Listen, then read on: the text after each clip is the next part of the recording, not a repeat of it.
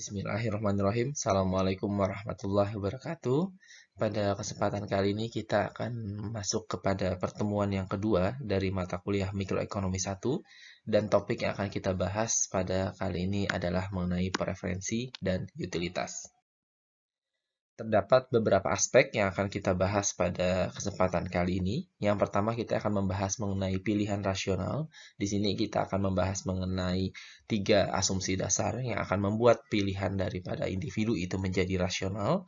Dan selanjutnya kita akan membahas mengenai konsep utilitas, uh, dilanjutkan dengan kurva indifferent, marginal utility, dan juga beberapa contoh fungsi utilitas.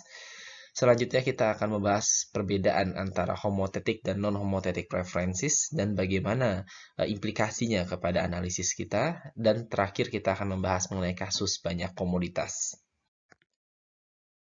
Asumsi yang pertama yang akan membuat pilihan individu itu menjadi rasional adalah completeness. Apa itu completeness? Misalkan kita memiliki dua opsi, ada A dan B.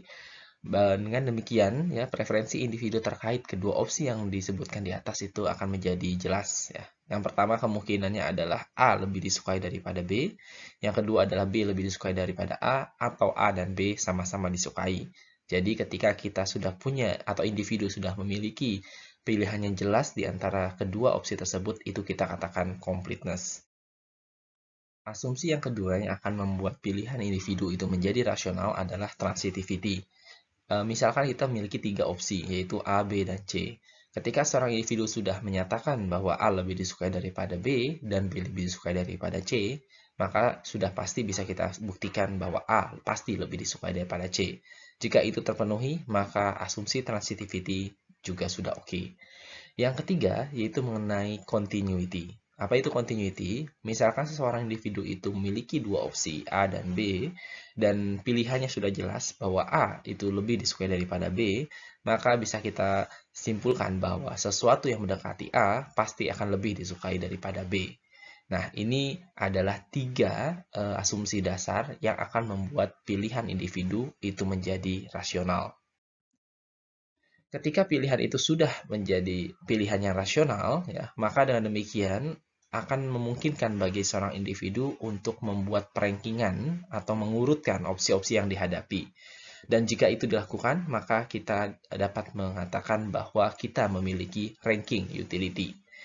Nah, ranking utility ini kalau kita kaitkan dengan uh, konsep bilangan dalam statistik ya, kita punya nominal, ordinal dan lain sebagainya, ya, maka ranking utility ini dia karakternya sama dengan ordinal ya. Konsepnya sama dengan yang kita miliki di statistika. Kalau kita miliki ordinal, artinya bisa kita urutkan bilangannya. Namun demikian ya, kita tidak bisa ya mengatakan apakah yang satu seberapa lebih disukai dibandingkan yang lain. Nah, dengan demikian ya, jika utilitas didapatkan dengan mengkonsumsi barang A dan B ya, maka dengan demikian kita bisa mengukur ya apakah A lebih disukai daripada B dan sebagainya. Namun, kita tidak bisa mengukur seberapa banyak utilitas yang akan didapat oleh individu dengan mengkonsumsi barang A dibandingkan dengan barang B. Nah, Selain itu juga, hal lain yang perlu kita pahami bahwa tidaklah relevan bagi kita untuk membandingkan tingkat utilitas satu individu dengan individu yang lain ya karena ini terkait dengan uh, preferensi dari orang tersebut. Selanjutnya yang perlu kita juga pahami yaitu bahwa individu, utilitas yang diterima oleh individu ya itu bukan hanya terbatas pada konsumsi terhadap komoditas ya. Namun uh, ini juga akan terkait erat ya dengan berbagai macam aspek lain yang bisa mempengaruhinya di antaranya di sini adalah kebudayaan atau budaya, lalu yang kedua adalah lingkungan interaksi dalam kelompok dan berbagai macam aspek lainnya. Kalau seandainya kita fokus kepada lingkungan ataupun interaksi dalam kelompok ya, maka di sini ada kemungkinan ya, utilitas seseorang ini juga akan terkait dengan uh, lingkung uh, lingkungannya sendiri ya. Misalkan kalau seandainya di lingkungan saya bahwa orang yang memiliki uh, komoditas X itu dikatakan sudah luar biasa, uh, sudah uh, bisa katakan sejahtera ya, maka ketika kita memiliki komoditas X tersebut, tingkat kepuasan yang kita dapat akan lebih besar. Nah, dikarenakan banyak sekali aspek yang bisa ataupun e, dapat mempengaruhi tingkat utilitas seseorang, ya, Maka dengan demikian ya ekonom itu akan fokus hanya pada ukuran yang bisa dikuantifikasi dan menganggap aspek-aspek lain yang tadi telah kita sebutkan itu sebagai sesuatu yang bersifat tetap ya. Nah, kalau demikian ya, maka kalau saya pinjam asumsi-asumsi sebelumnya sudah kita bahas pada pertemuan yang pertama, maka di sini kita akan terkait erat dengan asumsi ceteris paribus ya. Nah, secara matematis ya, kalau seandainya utilitas bisa didapatkan dengan mengkonsumsi beberapa jenis komoditas, anggaplah misalkan dinotasikan dengan X1, X2, dan selanjutnya, maka fungsi utilitas ya bisa kita tuliskan seperti yang ada di slide, bahwa utilitas sama dengan fungsi U, yang di mana di situ dipengaruhi oleh faktor X1, X2, sampai dengan Xn, dan berbagai faktor lainnya ya, yang dalam pemodelan nanti bisa saja kita asumsikan ceteris paribus.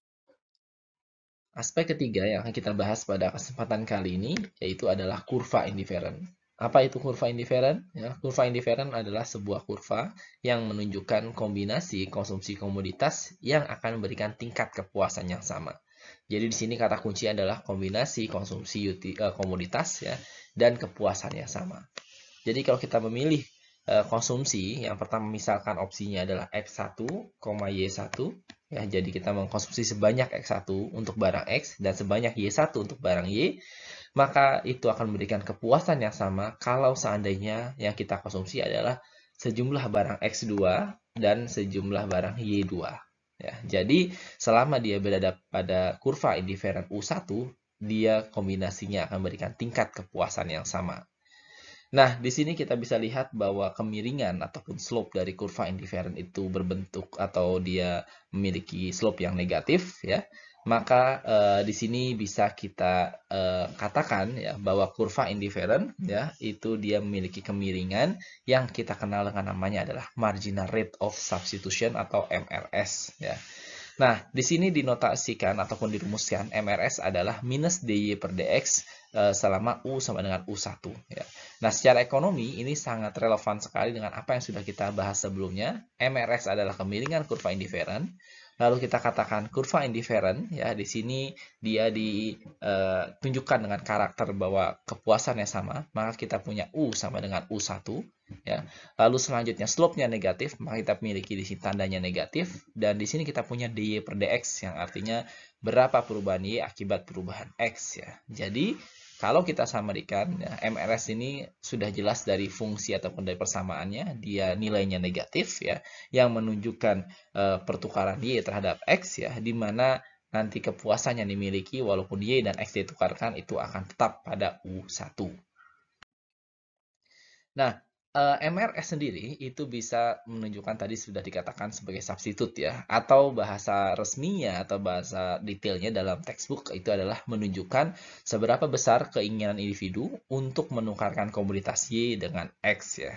Nah, kalau kita bisa lihat di sini ya kita memiliki kurva indifferent yang slope-nya negatif namun dia bukanlah garis linier ya, maka kita bisa lihat bahwa nilai MRS-nya itu akan tergantung pada titiknya ya. Dan kita bisa lihat ya bahwa kalau saya ngambil di X1,Y1 atau X2,Y2 itu dia titiknya berbeda, maka MRS-nya pun akan berubah ya.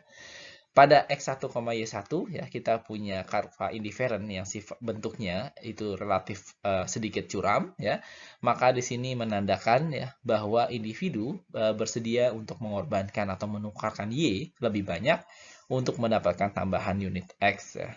Sementara itu, ya, pada X2, Y2, ya, di sini kurva indifferent akan berbentuk uh, agak mendatar, ya, yang secara tidak langsung menandakan bahwa individu bersedia untuk mengorbankan Y lebih sedikit untuk mendapatkan tambahan unit X.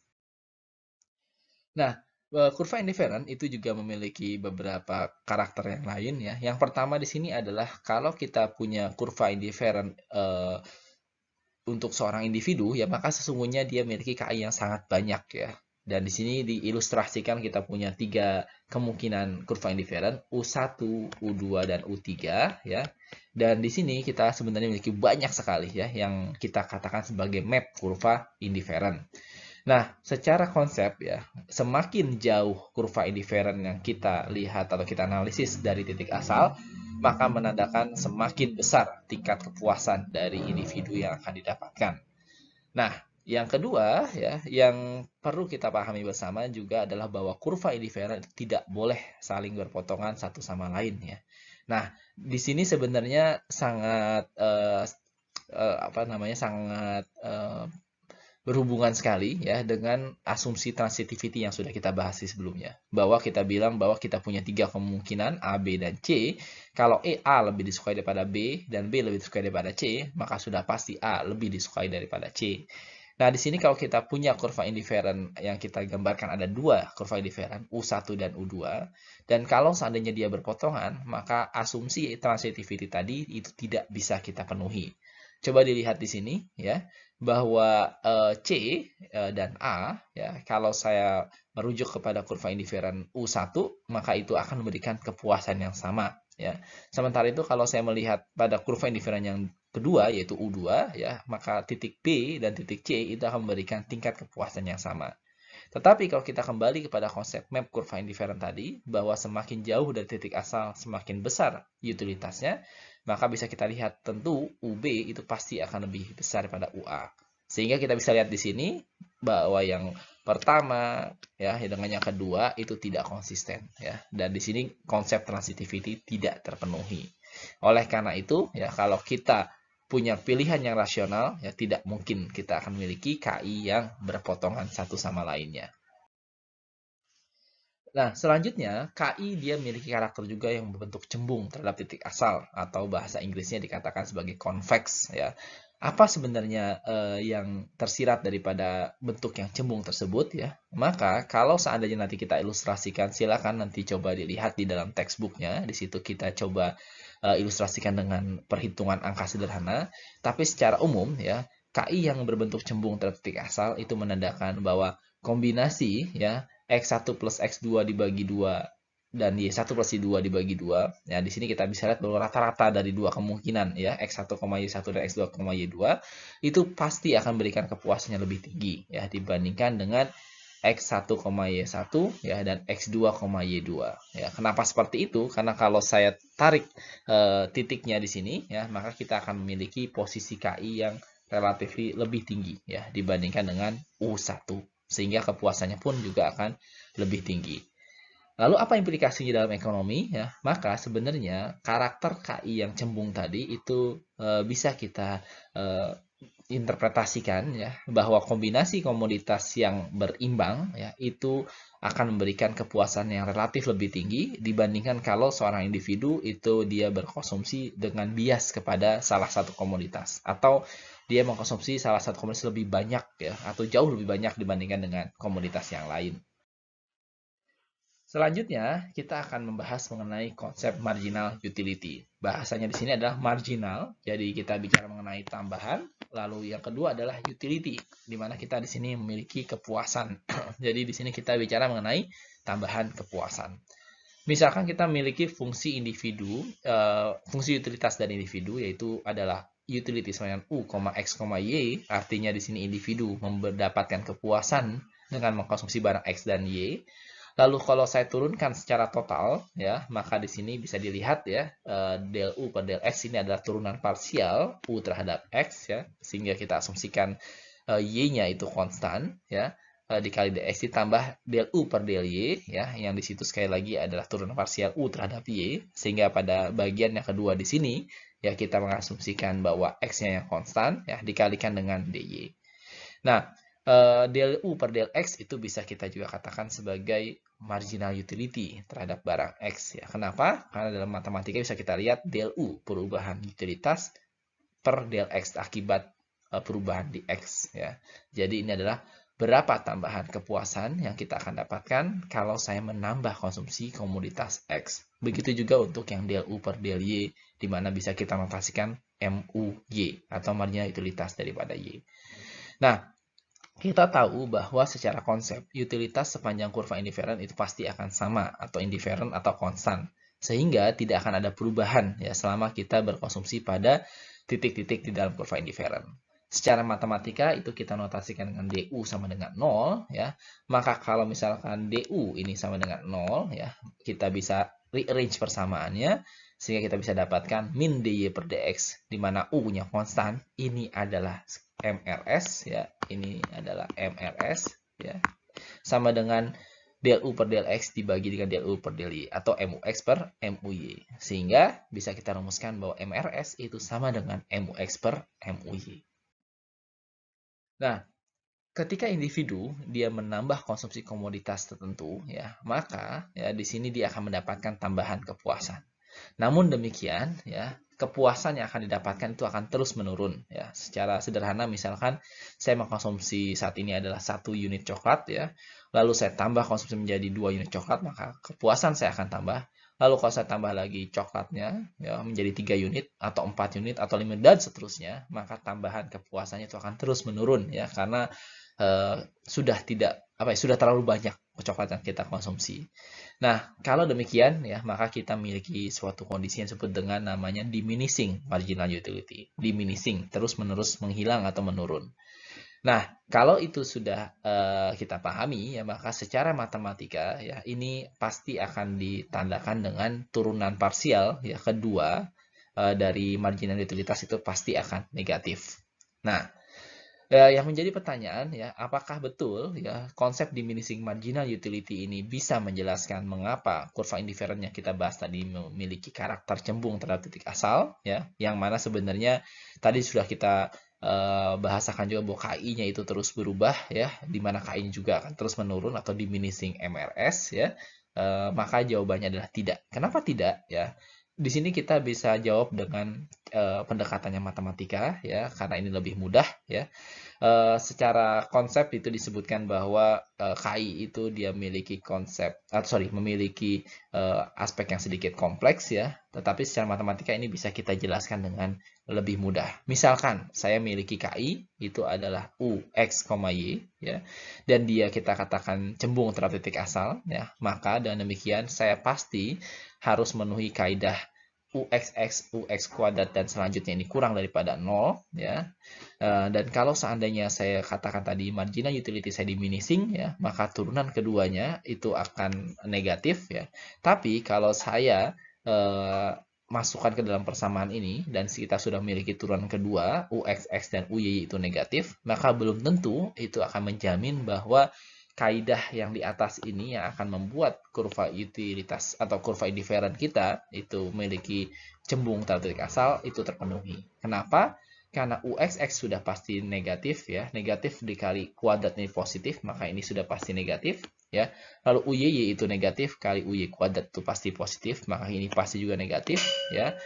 E, tetapi di sini ya nilainya belum tentu negatif. Kenapa? Karena saya punya komponen UXY Ya, dan dengan demikian ya hasilnya akan tergantung kepada UXY. Atau ini adalah turunan parsial ya pertama diturunkan terhadap X lalu selanjutnya kita turunkan kembali ya terhadap Y. Nah, eh, yang perlu kita pahami bahwa utilitas ya itu dapat dimodelkan dengan berbagai macam bentuk fungsi eh, kepuasan ataupun eh, kurva indifferent. Di sini kita punya model yang pertama disebut dengan fungsi Cobb-Douglas ya. Bisa dilihat di sini ya ini yang sudah kita contohkan tadi ya dari awal. Dia memiliki slope yang negatif ya tapi dia bukanlah garis linier. Uh, dan di sini kalau kita punya fungsi Cobb-Douglas maka bisa dirumuskan bahwa UXY itu sama dengan X pangkat alfa tambah Y pangkat beta. Nilai alfa dan beta itu haruslah positif ya dan secara uh, ekonomi sebenarnya ya nilai alfa dan beta itu akan memberikan informasi mengenai kontribusi tingkat kepentingan secara relatif dari masing-masing komunitas X dan Y ya. Jadi nanti kalau kita punya X uh, sorry alfa uh, dan betanya misalkan 0,2 lalu betanya 0,8 ya maka bisa kita katakan di sini bahwa uh, kok apa namanya tingkat kepentingan relatif dari X itu adalah 20% sedangkan Y-nya adalah 80% ya. Dan ini menunjukkan proporsi yang dikonsumsi ya pada uh, pada apa namanya bandel konsumsi kita ya.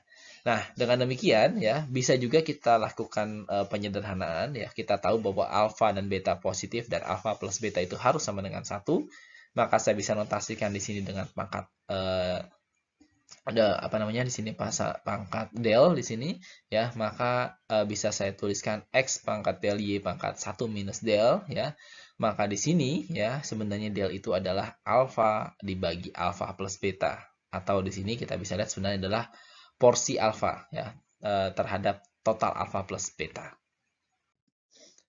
Nah, Kemungkinan yang kedua dari bentuk kurva indifferent yaitu adalah perfect substitute ya. Dan di sini bisa ditunjukkan dengan gambar kurva indifferent yang dia slope-nya negatif namun dia berfungsi atau berbentuk garis linier ya. Karena dia bentuknya adalah garis linier ya, maka di sini kita akan mendapatkan kemiringannya itu adalah sifatnya konstan ya di sepanjang kurva. Atau dengan bahasa lainnya, kita memiliki MRS yang konstan di sepanjang kurva. Bentuk lainnya adalah fungsi perfect complements ya. Kebalikannya tadi kalau tadi adalah perfect substitute ya, sedangkan ini perfect complement ya, maka di sini kurva indifferent yang akan kita miliki itu berbentuk huruf L ya. Di mana e, implikasinya adalah bahwa kalau seandainya kita ingin meningkatkan kepuasan kita misalkan dari U1 dan e, ke U2 atau U2 ke U3, maka ini bisa kita lakukan e, dengan menambah konsumsi kedua jenis komoditas yaitu X dan Y. Kita tidak mungkin menambah konsumsi X saja tanpa merubah konsumsi Y dan ini akan meningkatkan kepuasan kita. Kenapa? Coba dilihat di sini. Kalau saya misalkan berkonsumsi di titik ini ya, ini untuk X-nya dan ini adalah untuk Y-nya ya. Maka saya akan mendapatkan kepuasan di X1 di U1. Kalau saya tambah konsumsi X-nya ke titik sini misalkan atau jauh di sini tapi tidak merubah Y-nya, maka kita tidak akan berpindah uh, kurva indifferent atau dengan kata lain kepuasan kita akan sama pada U1. Dan kalau saya ingin tingkatkan kepuasan saya, maka saya perlu menambah X sampai dengan titik ini dan pada saat yang bersamaan Y juga harus saya tambah ke titik ini. Oleh karena itu dikatakan dia adalah fungsi perfect complements. Yang selanjutnya eh, bentuk yang umum juga dalam sebuah kurva indifferent yaitu adalah fungsi CHES atau constant elasticity of substitution. Secara matematis bisa dirumuskan seperti yang kalian lihat pada slide ya. Ini adalah uh, rumus matematikanya. Uh, dan di sini uh, kita bisa lakukan berbagai macam modifikasi ya. Misalkan diasumsikan di sini del-nya itu ber, uh, kita asumsikan sama dengan satu. Jadi ini x pangkat satu ya dibagi dengan satu ya. Jadi ini satu ini satu, lalu ini satu satu, maka kita punya adalah apa? Kita punya ux, y adalah x ditambah dengan y atau ini akan sama dengan fungsi perfect substitute ya.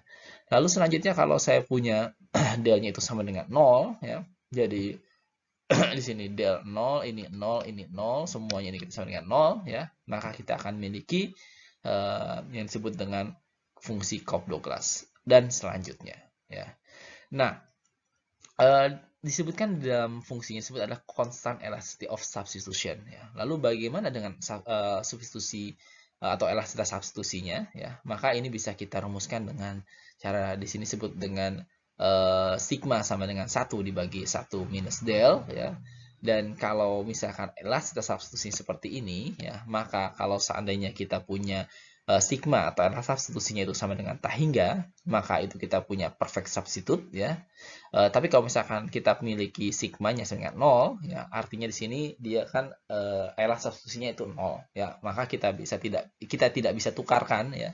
Maka kita memiliki fungsinya adalah fixed proportion ya. Jadi di sini bisa kita lihat fungsi chess ini sangat uh, fleksibel ya. Dia bisa dirubah menjadi fungsi apa saja ya dari empat jenis fungsi tadi ya bisa kita dapatkan di sini ya dan e, dengan demikian ya e, secara matematis ya sering kali di dalam model matematika ya fungsi kepuasan individu itu dimodelkan dengan fungsi chess ya karena kita dapat empat empat ya Cobb Douglas punya, fixed proportion punya, perfect complement punya, dan perfect substitute juga punya. Nah, konsep selanjutnya yang perlu kita pahami adalah perbedaan antara homotetik dan non-homotetik preferences ya. Jadi sering kali dalam sebuah uh, pemodelan ekonomi ya nanti akan dikatakan bahwa fungsi utilitasnya adalah homotetik. Lalu apa maknanya dan apa implikasinya ya? Nah, yang pertama maknanya dulu ya. Kalau dikatakan fungsi utilitas itu memiliki uh, karakter homotetik ya, itu uh, bisa kita artikan bahwa ketika MRS dari kurva indiferentnya uh, itu kita hitung, maka nilainya akan tergantung hanya kepada rasio dari dua komoditas yang dikonsumsi, ya, bukan pada total kuantitas komoditasnya. Ya, jadi kita tidak peduli mengkonsumsi X dan Y itu berapa banyak ya, yang penting bagi kita adalah berapa uh, rasionya atau berapa perbandingan antara konsumsi X dan Y. Nah, kalau seandainya MRS kita ya itu tergantung pada perbandingannya bukan kuantitasnya, maka dikatakan utilitas kita itu bersifat atau memiliki karakter yang homotetik. Ya. Apa makna lainnya? E, itu bisa kita artikan juga bahwa e, dengan kurva indiferent atau fungsi utilitas yang lebih jauh daripada titik asal atau kepuasannya lebih tinggi, ya, maka itu akan sama dengan fungsi utilitas yang e, relatif punya posisi dia dekat dengan titik asal atau lebih rendah, ya. Nah, jadi ya kita bisa memilih ya, kita bisa menganalisis ya, apakah kita fokus pada utilitas yang lebih tinggi atau utilitas yang lebih rendah ya. Kesimpulannya nanti itu relatif akan memberikan uh, hasil yang tidak jauh berbeda ya. Jadi seorang peneliti kalau seandainya dia fokus kepada fungsi utilitas yang homotetik ya dan dia menggunakan hanya satu uh, asumsi fungsi utilitas maka itu sudah cukup uh, relevan ya karena dia sebenarnya tidak akan jauh berbeda kalau dia berpindah pada fungsi utilitas yang lainnya. Nah, kalau kita kembali kepada eh, jenis-jenis uh, fungsi utilitas tadi, ya, maka di sini ya kalau kita bicara mengenai homotetik ya, uh, eh, MRS daripada uh, perfect substitute tadi sudah kita katakan itu konstan sepanjang kurva, ya, maka dengan demikian bisa kita simpulkan ya bahwa MRS akan tergantung kepada rasio daripada y dan x-nya, maka dia juga bisa kita katakan homotetik ya. Selanjutnya kalau kita lihat pada perfect complements ya, di mana MRS-nya itu tak hingga kalau uh, kita punya Y per X itu lebih besar pada alpha plus beta, alpha dibagi dengan beta dan dia menjadi undefined. Kalau seandainya Y per X itu adalah sama dengan alpha per beta ya. Dan di sini uh, eh, MRS akan 0 jika Y per X-nya itu kurang pada alpha uh, dibagi dengan beta, maka di sini sekali lagi kita bisa lihat ya Y per X, Y per X, Y per X ya. Nah, maka dengan demikian ya eh, MRS-nya itu akan tergantung kepada rasio konsumsi barang X dan Y ya. Dan kita katakan juga bahwa perfect complement dia juga memenuhi kaidah atau memenuhi karakter homotetik. Lalu bagaimana dengan COP12 ya? Kalau COP12 kita turunkan MRS ya, maka del U per del X bagi del U per del Y atau MUX per MUY ya. Kita lanjutkan di sini uh, kita punya alfa kali X pangkat alfa minus 1 dikali Y pangkat beta dibagi beta X pangkat alfa Y pangkat B minus 1 ya atau saya bisa atur ulang persamaannya kita akan punya alfa per beta dikali dengan Y per X. Sekali lagi kita punya Y per X ya atau rasio barang Y terhadap barang X ya. Nah di sini uh, sekali lagi kita memiliki juga fungsi utilitas yang uh, memiliki karakter yang homotetik Nah, apakah semua pasti homotetik? Belum tentu. Ya. Ada kalanya fungsi utilitas yang kita miliki itu memiliki karakter yang non-homotetik. Ya. Di sini dicontohkan uh, utility adalah X ditambah len Y. Ya. Kalau seandainya saya cari uh, eh, MRS-nya, maka saya akan memiliki adalah MUX per MUY atau MUX ini sekali lagi. ya Kalau ini saya turunkan terhadap X, saya punya satu konstan. Eh, lalu kalau kita turunkan terhadap Y, ya, maka saya punya satu per Y, maka dengan demikian MRS itu sama dengan Y. Nah, di sini bisa kita lihat bahwa MRS hanya dipengaruhi oleh barang Y, ya, dan dia bersifat independen terhadap X, ya. Oleh karena itu, kalau seandainya saya tingkatkan konsumsi Y-nya, sudah pasti MRS-nya juga akan naik, ya. Nah, di sini dia tidak dipengaruhi oleh rasio konsumsi barang X dan Y. Jadi ini adalah salah satu contoh tentang fungsi utilitas yang non-homotetik.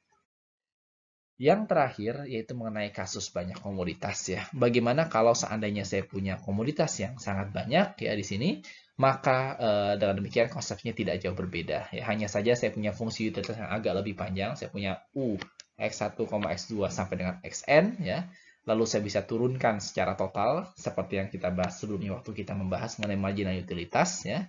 Lalu selanjutnya dari sini ya sebenarnya nanti bisa kita uh, apa namanya uh, hitung uh, berapa nilai MRS-nya ya. Sekali lagi uh, kita bisa asumsikan DU-nya sama dengan 0 ya.